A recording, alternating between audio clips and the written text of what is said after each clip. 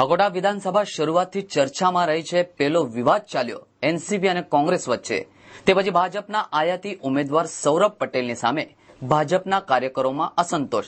આખી વાત વચ્ચે કોંગ્રેસ, એનસીપી વચ્ચે ગઠબંધન હોવા છતાં લલિત પટેલને મેન્ડેટ આપ્યું.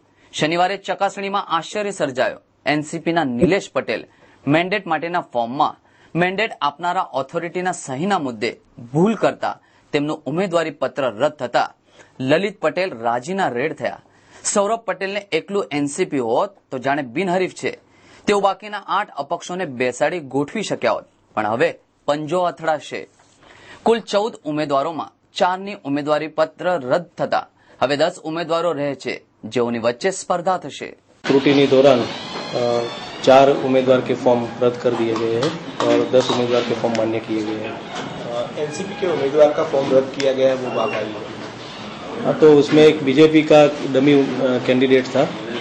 एक कांग्रेस का डमी कैंडिडेट था और एक इंडिपेंडेंट कैंडिडेट एंड एक एनसीपी कैंडिडेट के फॉर्म रद्द कर दिए।